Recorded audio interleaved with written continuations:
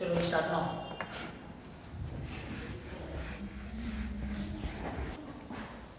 Hello friends मैं रजत राजपूत आपका स्वागत करता हूँ गुरुकुल आनंद एकेडमी क्लासेस में।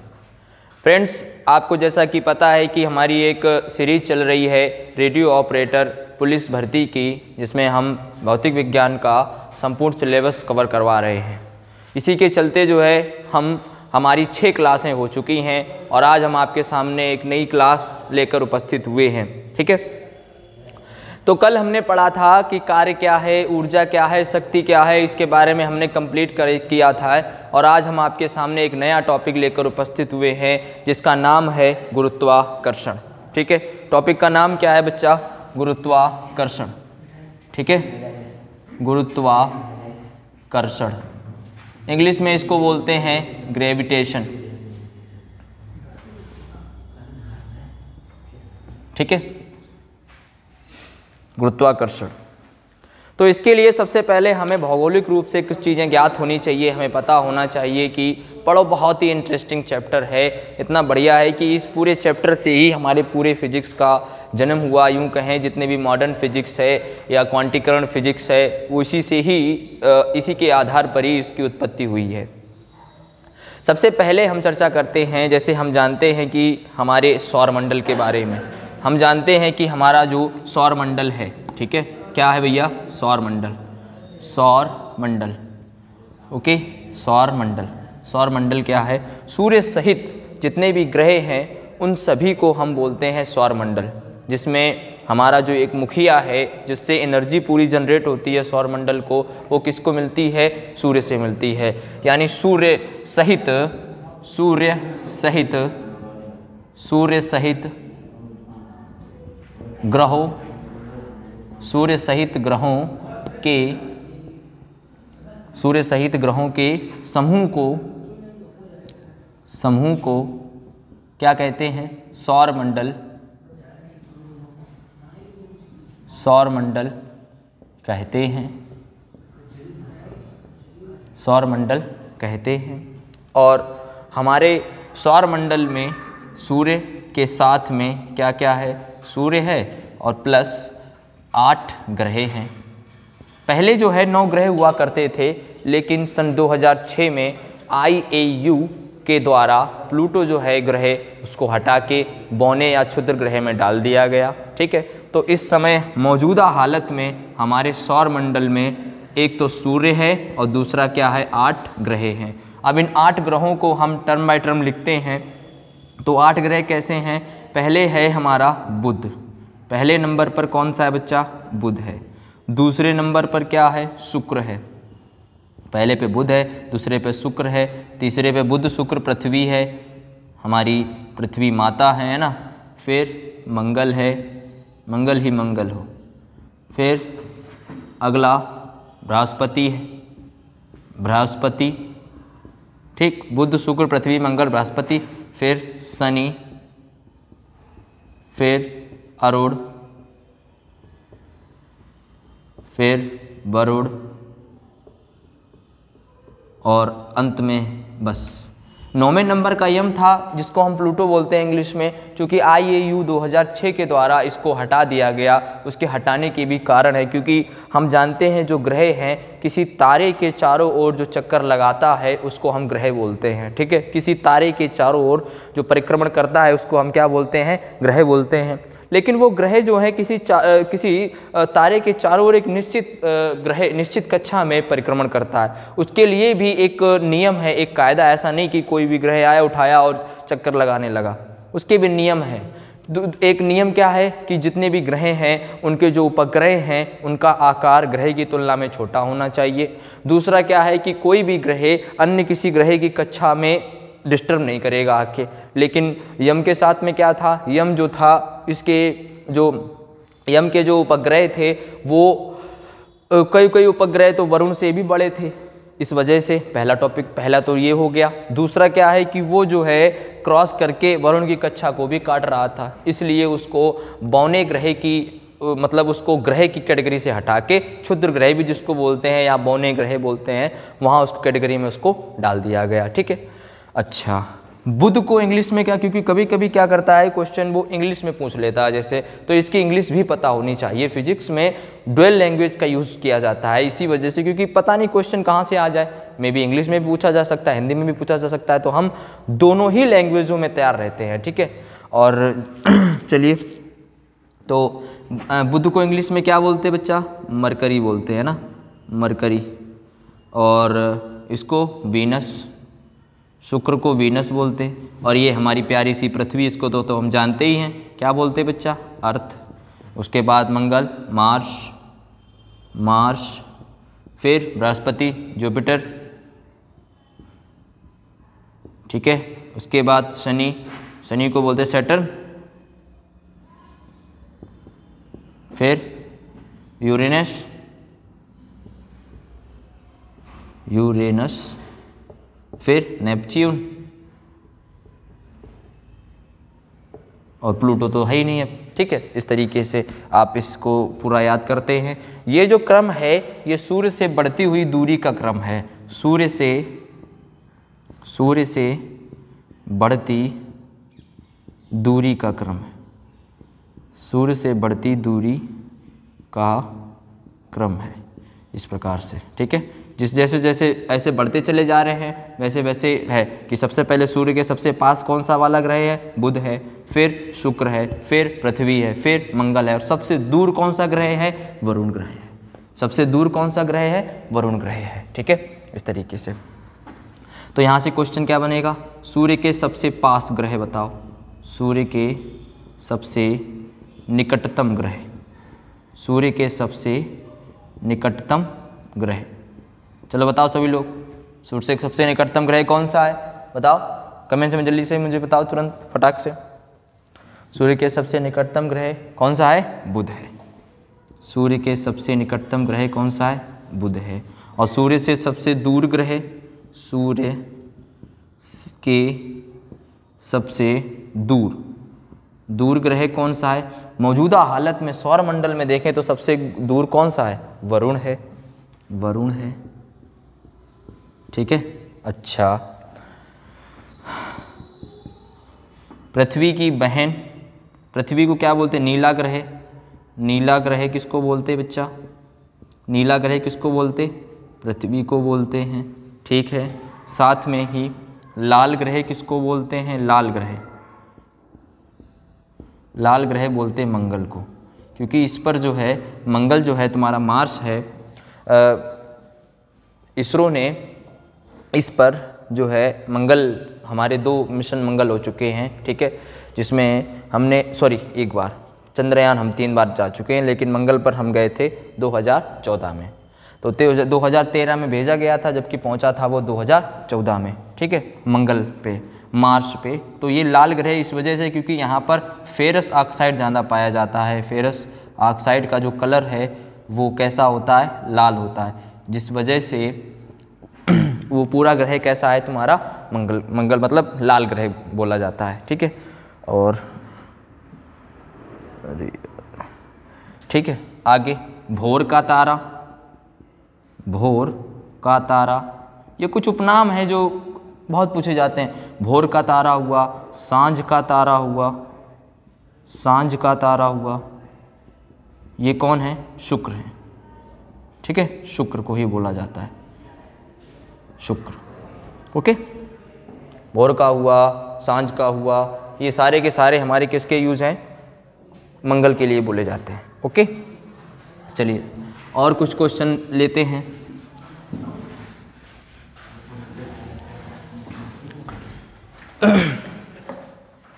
इन ग्रहों में जो सबसे बड़ा जो ग्रह है वो कौन सा ग्रह है? तो सबसे बड़ा ग्रह आकार में सबसे बड़ा ग्रह। ठीक है? देखिए, ग्रह ऐसे लिखा जाता है, ये वाला जो हम यूज़ करते हैं प्लेनेट के लिए, वो ये वाला ग्रह है। और जो ये ग्रह जिसमें ऋषि ऋषि वाली लगती है, वो वाला होम लग जाता है, जिसमें ऋषि ऋषि वाली मात्रा लग जाती है। ठीक है? तो सबसे बड़ा ग्रह सभी ग्रहों में कौन सा है? हमारा बृहस्पति है। सबसे बड़ा ग्रह है बृहस्पति। और सबसे ज़्यादा उपग्रह भी किसके हैं? इसके ही हैं, तिरसठ हैं। ठीक है? इस तरीके से आगे। ठीक है? सबसे बड़ा ग्रह ये है और सबसे छोटा ग्रह सबसे छोटू ग्रह सबसे छोटा ग्रह। सबसे छोटा ग्रह। वो कौन है? सबसे छोटा ग्रह बुध है। और सबसे गर्म ग्रह सबसे गर्म ग्रह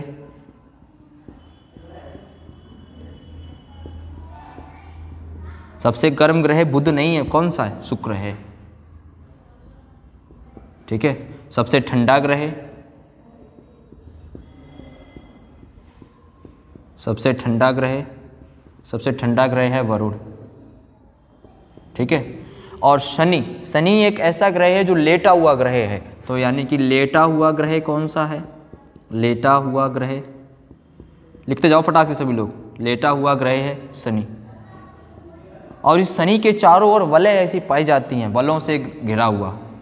वलयों। से घिरा हुआ वलयों से घिरा हुआ, जो है, वो कौन सा है? शनि ग्रह है, ठीक है? अच्छा हरा ग्रह जो है, हरा ग्रह किसको बोलते हैं? अरुण को बोलते हैं। हरा ग्रह किसको बोलते हैं? अरुण को बोलते हैं। ठीक है? और भी कुछ क्वेश्चन याद आएँगे तो फिर हम उनको डिस्कस या इससे और भी जो चीज़ रह गई हो, वो आप जब लोग जल्दी से कमेंट में टाइप कर दो। फटाक से क्या क्या रह गया गुरु जी, ये पढ़ाने को छोड़ गया, जो भी रह गया है, ठीक है? चलो, जल्दी से नोट कर लो। हो गया होगा? चलो, अब आ जाओ भाई। तो हमने ग्रह से संबंधित सौरमंडल से संबंधित कुछ बातें थी जिनको हमने डिस्कस कर लिया, ठीक है? अब हम थोड़ा आगे चलते हैं और अब हम हेडिंग डालेंगे कि ग्रह क्या है। है ना? ग्रह क्या है? सबसे अब हेडिंग क्या डालेंगे? ग्रह के बारे में जानने की कोशिश करते हैं। ये ग्रह क्या है? है ना? वे आकाशीय पिंड जो किसी, जो सूर्य के चारों ओर चक्कर लगाते हैं, क्या कहलाते हैं? ग्रह कहलाते हैं। ठीक है? सिंपल सी एक लाइन में डेफिनेशन है। वे वे आकाशीय पिंड, वे आकाशीय पिंड जो जो सूर्य के चारों ओर, सूर्य के चारों ओर चक्कर या परिक्रमण करते हैं। चक्कर को ही हम बोलते हैं क्या? परिक्रमण। परिक्रमण करते हैं। सूर्य के चारों ओर क्या करते हैं? परिक्रमण करते हैं। ग्रह कहलाते हैं। ग्रह कहलाते हैं। ठीक है? जितने भी ग्रह हैं, वो हमारे सूर्य से ही टूटकर बने हुए हैं। उच्चावचन उच्चावसन की वजह से ये सारे ग्रह, अत्यधिक ग्रेविटेशन अत्यधिक भार की वजह से ये सारे ग्रह, इनका आकार कैसा है? गोल है। टूटे तो होंगे अलग अलग स्वरूपों में, लेकिन अत्यधिक गुरुत्वाकर्षण ग्रेविटेशन अत्यधिक भार की वजह से ये कैसे हैं? गोल हैं। ठीक है? इस तरीके से। तो ये ग्रह हो गए। और प्रत्येक ग्रह यहाँ डालेंगे। प्रत्येक ग्रह प्रत्येक ग्रह सूर्य के चारों ओर परिक्रमा करता है। सूर्य के चारों ओर चारों ओर निश्चित कक्षाओं में परिक्रमा करते हैं। निश्चित कक्षाओं में, निश्चित कक्षाओं में परिक्रमा करते हैं।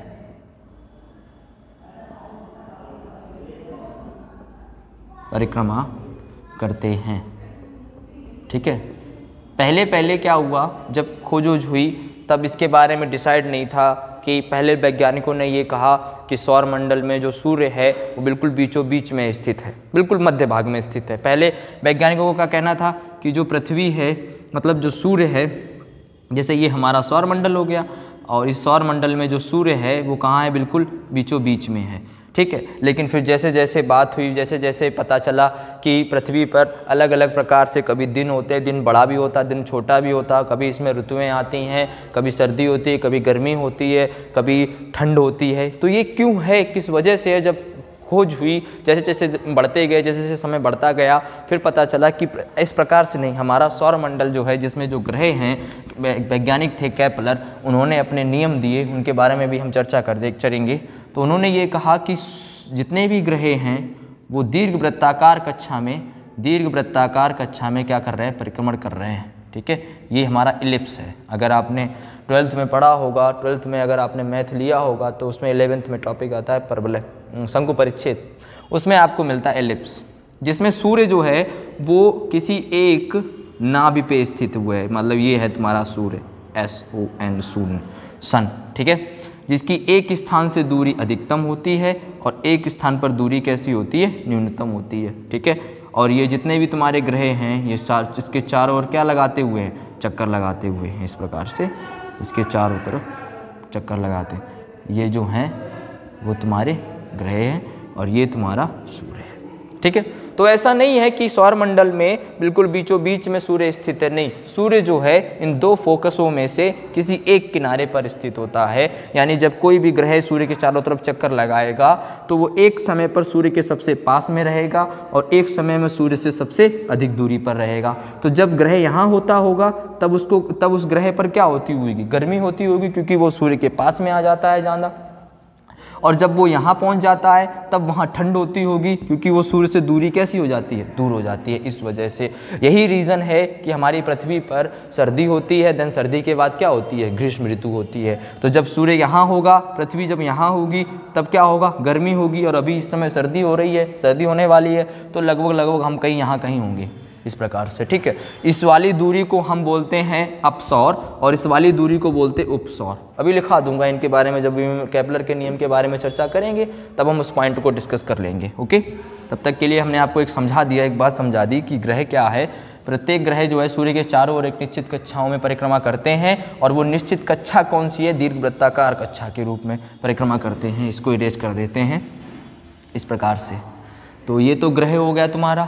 अच्छा जब ग्रह हो गया तो हम इसकी थोड़ी चर्चा और कर लेते हैं, उपग्रह के बारे में और कर लेते हैं। उपग्रह क्या होते हैं? ठीक है, चलिए। उपग्रह।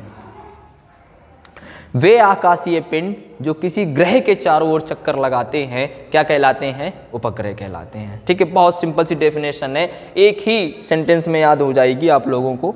क्या? वे वे आकाशीय पिंड, वे आकाशीय पिंड, जो किसी ग्रह के चारों ओर चक्कर लगाते हैं, किसी ग्रह के चारों ओर चारों ओर चक्कर, किसी ग्रह के चारों ओर चक्कर लगाते हैं, क्या कहलाते हैं? उपग्रह, इंग्लिश में सैटेलाइट बोलते हैं। उपग्रह कहते नहीं हैं, कहलाते हैं। कहलाते हैं। बोलिए। हाँ या ना? बिल्कुल सही बात है। बे आकाशीय पिंड, जो किसी ग्रह के चारों ओर चक्कर लगाते हैं, क्या कहलाते हैं? उपग्रह कहलाते हैं, ठीक है? तो जैसे जैसे पृथ्वी एक ग्रह है, पृथ्वी एक ग्रह है, पृथ्वी के चारों चक्कर कौन लगाता है? चंद्रमा। चंद्रमा जो है, वो पृथ्वी के चंद्रमा पृथ्वी के चारों ओर, चंद्रमा पृथ्वी के चारों ओर चक्कर चक्कर लगाता है। ठीक है? चंद्रमा जो है वो क्या करता है? पृथ्वी के चारों चक्कर लगाता।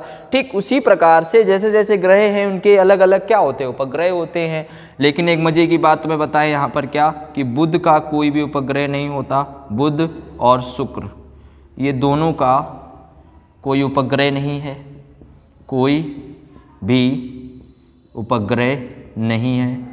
ठीक है? उपग्रह नहीं है। ठीक? हमारी जो पृथ्वी है, भारत जो हमारी पृथ्वी माता है, पृथ्वी का एक उपग्रह है। ठीक है? एक उपग्रह है। ठीक है? और वो उपग्रह कौन सा है? चंद्रमा है। चंदा मामा है हमारे। है ना? मून इंग्लिश में क्या बोलते हैं इसको? मून वैसे ही मंगल जो मंगल है, मंगल के दो उपग्रह हैं, ये बहुत पूछा जाता है, ये बहुत पूछा जाता है, ठीक है? मंगल के दो उपग्रह हैं फ़ेमस उपग्रह हैं। कौन कौन से? एक है फोबोस फोबोस, और दूसरा है डीमोस। ठीक है? तो मंगल के कितने हैं? दो उपग्रह हैं, ठीक वैसे ही बृहस्पति बृहस्पति, जो कि सबसे भारी ग्रह है, हमारे सौर मंडल में सबसे बड़ा ग्रह जो है, वो कौन है? बृहस्पति है। ऐसा बोला जाता है कि पृथ्वी पर जितने भी आकाशीय पिंड, उल्का पिंड आपने देखे होंगे कि पहले ऐसा हमने सुना सुना होगा, आप लोगों ने भी सुना होगा कि डायनासोर पहले रहते थे पृथ्वी पर, लेकिन अब वो नहीं हैं। वो डायनासोर नष्ट हो गए थे। उसका रीज़न था कि एक भारी उल्का पिंड जो है पृथ्वी पर बहुत ही तेज़ी से टकराया आके, जिससे जो है पूरी पृथ्वी पर उपस्थित। उस समय जितने भी जीव, जंतु, जानवर थे, वो सब पूरे के पूरे क्या हो गए? ख़त्म हो गए, जिसको हमने पूरा मतलब उससे बोला जाता है कि तभी से डायनासोर का विलुप्त हो गए, वहाँ से ख़त्म हो गए। है ना? तो जितने भी उल्का उल्का पिंड जब आते हैं तो वो पृथ्वी पर नहीं आ पाते हैं, उससे पहले ही चूँकि जब वो आ रहे होते हैं तो रास्ते में मिलता कौन? बृहस्पति। बृहस्पति का भार पूरे सौर मंडल में जितने ग्रह हैं, उनसे ज़्यादा है। इस वजह से जिस पिंड का, जिस पिंड का जितना भार ज़्यादा होगा, उसका गुरुत्वाकर्षण उतना ही क्या होगा? ज़्यादा होगा। अब जब उसका भार ज़्यादा है बृहस्पति का तो वो जिसके पास में जितने भी उल्का पिंड आते हैं तो वो इधर नहीं आ पाते, उससे पहले ही वो क्या कर लेता अट्रैक्ट कर लेता। हर एक ग्रह का अपना एक ग्रेविटेशन फ़ील्ड होता है, अपना एक गुरुत्व क्षेत्र होता है और उस गुरुत्व क्षेत्र के अंदर अगर कोई भी वस्तु आ जाती है, जो अगर उसके ग्रेविटेशन एरिया में वेग से कम है तो वो क्या कर लेता है उसको खींच लेता है। और अगर उसके, मान लो उसका वेग और उसके गुरुत्वीय त्वरण की तुलना में ज़्यादा है तो वो निकल जाएगा उससे, ठीक है? ऐसा करके। तो बृहस्पति के तिरसठ बृहस्पति के कितने उपग्रह हैं? बृहस्पति के उपग्रह 63 63 होते हैं, जिनमें सबसे बड़ा जो उपग्रह है, वो गैनीमेड है। सबसे बड़ा उपग्रह वो गैनीमेड है। गैनीमेड। ठीक है? वैसे उसके ग्रह कितने हैं? और शायद सबसे ज़्यादा ही तिरसठ सबसे ज़्यादा उपग्रह बृहस्पति के ही हैं। ठीक है? जिनमें सबसे बड़ा ग्रह कौन, सबसे बड़ा उपग्रह सॉरी कौन सा है उसका? गैनीमेड उपग्रह है, ठीक है? तो ये कुछ बातें हैं, इनको नोट कर लीजिएगा। यही पॉइंट जो स्टार वाले पॉइंट हैं, यही इंपॉर्टेंट हैं। यही इम्पोर्ट यही तुम्हारे बहुविकल्पी परीक्षा में फंसे हुए होंगे वहाँ जाके। इनको फटाक से नोट कर लो। ये थोड़ा जीएस का क्वेश्चन भी तुम्हारा कवर कर देगा, जो है, ठीक है? छाप लें फटाक से भाई। हो गया होगा, ठीक है? चलो देखो भाई। तो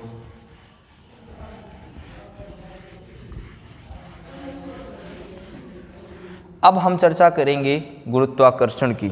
What is gravitation question mark है ना? गुरुत्वाकर्षण क्या है? हेडिंग डालेंगे। गुरुत्वाकर्षण।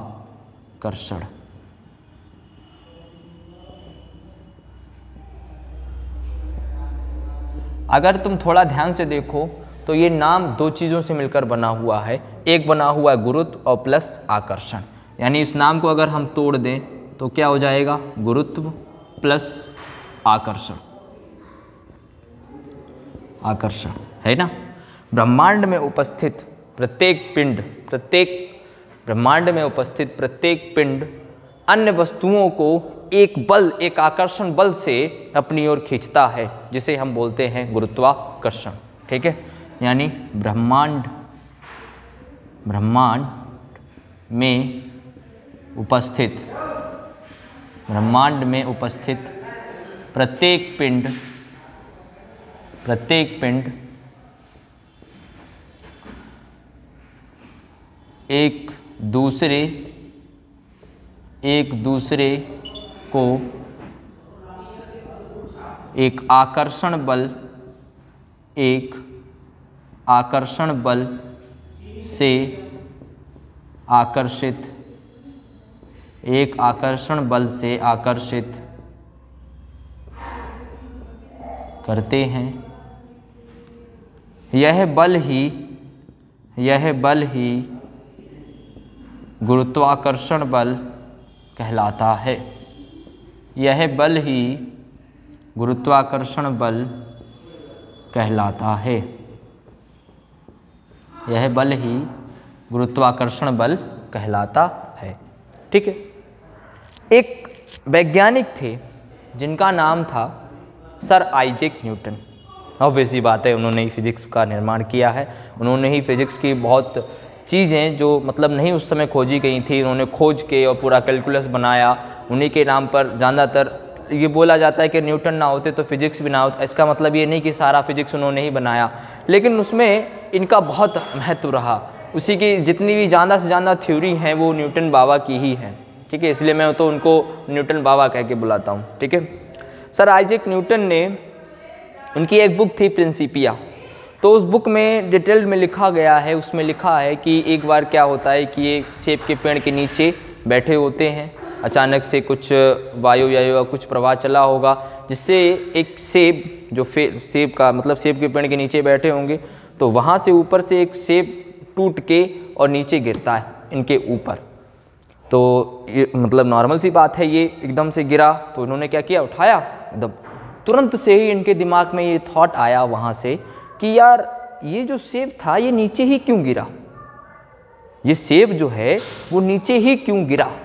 अच्छा नॉर्मल व्यक्ति और वैज्ञानिकों में डिफरेंस ये होता है कि नॉर्मल व्यक्ति ज़्यादा सोचता नहीं। अरे, हो गया तो हो गया, ख़त्म करो इसको। लेकिन जो वैज्ञानिक होते हैं या जिनकी अलग बुद्धि होती है, कुशाग्र बुद्धि होती है, वो क्या करते हैं? यार, ये ऐसा हुआ क्यों? क्यों, क्या, कहाँ, क्यों हुआ? अब सोच में पड़ गए उसी के पीछे कि अब सोच रहे हैं कि ये क्यों हुआ, कैसे हुआ, क्या नहीं हुआ, और फिर लग गए उसको खोजने में। खोजने में लग गए, फिर जाके उन्होंने अपना एक नियम दिया। और नियम दे के ये बताया कि ग्रेविटेशन है क्या। तब जाके कन्फर्म हुआ जाके कि हाँ गुरुत्वाकर्षण नामक कोई चीज़ है। फिर उन्होंने नियम दिया, उस नियम को हम बोलते हैं न्यूटन का गुरुत्वाकर्षण नियम, बहुत फ़ेमस नियम है। अब नियम तो दे दिया, जब नियम कोई भी वैज्ञानिक देता है फिजिक्स में, किसी वैज्ञानिक ने तो शुरुआत में वो अनुक्रमानुपाती या समानुपाती बताता है। फिर समानुपाती के बाद में दोनों पक्षों को बराबर करने के लिए एक कांस्टेंट टर्म की ज़रूरत पड़ती है। वो कांस्टेंट टर्म का, वो कांस्टेंट ऐसा होना चाहिए जो हर एक नियम को फॉलो करे, हर एक नियम में एग्जिट बैठ जाए। ये नहीं है कि ऐसे उठा लिया कोई भी कांस्टेंट और उसको यूज़ करने लग गए, नहीं। वो नियम अन्य सभी नियमों को फॉलो करता हो। उस नियम के विपरीत ना जाए, ये और ध्यान रखना होता है, ठीक है? चलो तो अब हम बताते हैं उनका नियम हेडिंग डालेंगे। मोस्ट इंपॉर्टेंट है, बहुत ही ज़्यादा इंपॉर्टेंट है, न्यूटन का गुरुत्वाकर्षण नियम। न्यूटन का गुरुत्वाकर्षण नियम। न्यूटन का गुरुत्वाकर्षण नियम। ठीक है? क्या है नियम में?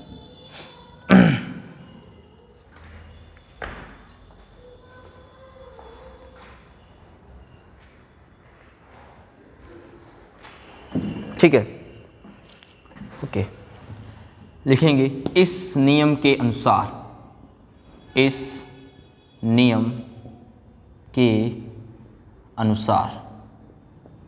जब भी हम कोई भी नियम या परिभाषा तो आप लोग ट्वेल्थ में पढ़ाई होगा, उसमें हमें कुछ ज़्यादा डिटेल में जानना नहीं है, केवल हमको ये अपना एग्ज़ाम के पॉइंट ऑफ़ व्यू से चीज़ों को समझना है ना। इस नियम के अनुसार, किन्हीं दो किन्हीं दो बिंदु, किन्हीं दो बिंदु द्रव्यमानों, किन्हीं दो बिंदु द्रव्यमानों के बीच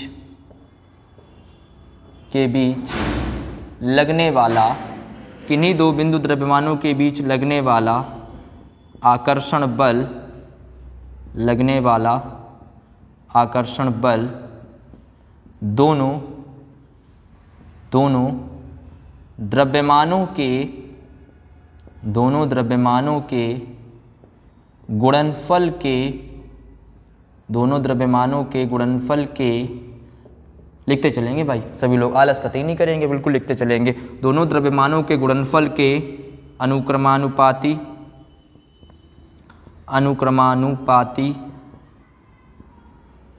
तथा तथा उनके बीच, तथा उनके बीच की दूरी के, तथा उनके बीच की दूरी के वर्ग के वर्ग के व्युत्क्रमानुपाती तथा उनके बीच की दूरी के वर्ग के व्युत्क्रमानुपाती होता है। अब ये आला में तुम्हें कुछ समझ नहीं आया होगा, समझने वाले ने समझा होगा, बाकी समझने में पता नहीं क्या मास्टर पढ़ा रहा है। सीधी सी बात समझो, देखो एक लैंग्वेज में फ़र्स्ट नंबर यहाँ से निकलेगा F is proportional M one या रुक जाओ। रुक जाओ रुक जाओ रुक जाओ देखो हमने ये कहा एक ये हमारा बिंदु द्रव्यमान है एम वन इससे कुछ दूरी पर एक दूसरा द्रव्यमान रखा हुआ है एम टू दोनों द्रव्यमानों के बीच की दूरी है वो दूरी कितनी है? आर है। आर दूरी पर दोनों द्रव्यमान रखे हुए हैं।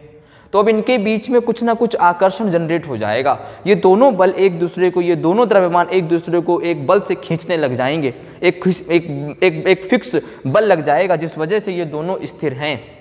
तो न्यूटन ने बोला कि इन दोनों के बीच जो गुरुत्वाकर्षण बल लग रहा है, वो इन दोनों के द्रव्यमानों के गुणनफल के अनुक्रमानुपाती। ये चिन्ह जो तुम्हें दिख रहा है, ये निशान, इस निशान को हम बोलते हैं अनुक्रमानुपाती। निशान को क्या बोलते हैं बच्चा? अनुक्रमानुपाती।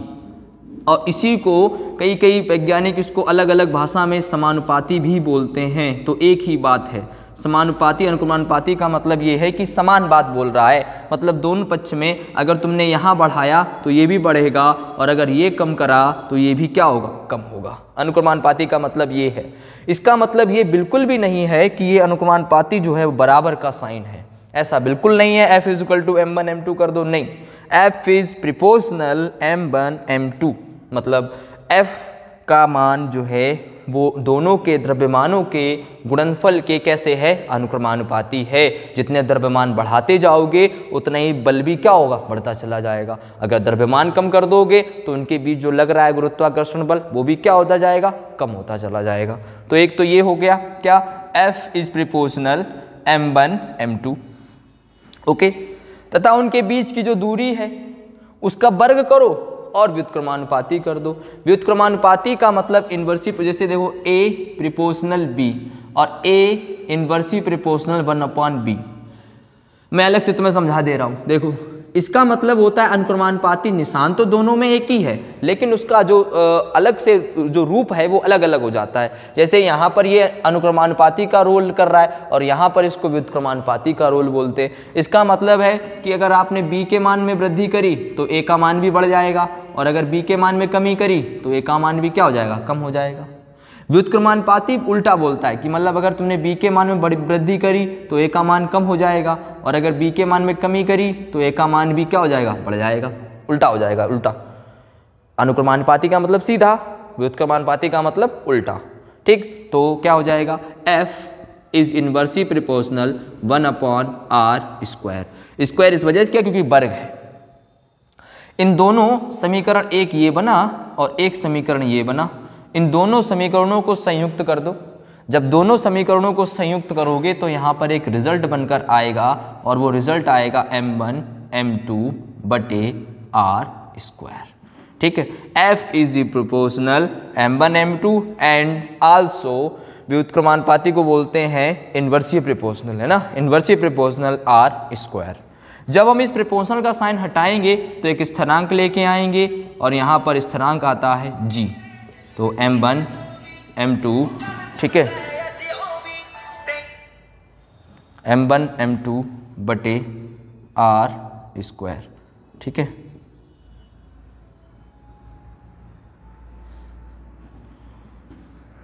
जहाँ जहाँ कैपिटल जी एक नियतांक है जहाँ कैपिटल जी एक नियतांक है। जहाँ कैपिटल जी एक नियतांक है, जिसका मान छः दशमलव छः सात गुणे दस की घात माइनस ग्यारह और न्यूटन मीटर स्क्वायर प्रति किलोग्राम स्क्वायर है। ठीक? दोबारा से लिखे दे रहे, ध्यान से देखो सभी लोग। कैपिटल जी का मान कितना है? छः दशमलव छः सात, दस की घात माइनस ग्यारह, फिर न्यूटन न्यूटन मीटर स्क्वायर प्रति किलोग्राम स्क्वायर। ठीक है? कहा जाता है कि इस जी के मान को खोजने के लिए न्यूटन ने बहुत संघर्ष किया और ये जी का मान खोजते खोजते उन्होंने पृथ्वी का सॉरी पृथ्वी कह रहे गणित का जो सेकंड पेपर है, उसका, उसको मतलब निर्माण कर दिया। पूरा कैलकुलस का जो श्रेय है, वो किन के ऊपर जाता है? न्यूटन के ऊपर ही जाता है। ठीक है? तो किन्हीं दो बिंदु द्रव्यमानों के बीच लगने वाला जो आकर्षण बल ध्यान रखना, केवल आकर्षण बल होता है। इसमें प्रतिकर्षण का कहीं भी नामो निशान नहीं है। वैद्युत बल जो है वो हमारा आकर्षण भी हो सकता है और प्रतिकर्षण भी हो सकता है, जबकि गुरुत्वाकर्षण बल जो है वो सदैव ही आकर्षण बल होता है। ओके? तो आई होप आज की क्लास, आज के लिए इतना ही रखते हैं। बाकी जो बचा हुआ है वो अगली क्लास में अपन शिफ्ट कर लेंगे। ओके? तो आई होप आज की क्लास आपको समझ आई होगी। और अगर समझ में आई है तो हमारे चैनल को क्या करेंगे? सब्सक्राइब कर लेंगे और साथ ही साथ में अगर पसंद आई है क्लास तो लाइक दबा देंगे, ठीक है? और उम्मीद है आप लोग बढ़िया से तैयारी कर रहे होंगे और ज़बरदस्त तरीके से मेहनत कर रहे होंगे, ठीक है? तो हम कल फिर से इसी टाइम आपको मिल रहे हैं आके। आपको इस क्लास का अगला जो भाग है, उसको लेकर कल हम इसी टाइम पर उपस्थित होंगे। तब तक के लिए जय हिंद। Mm-hmm.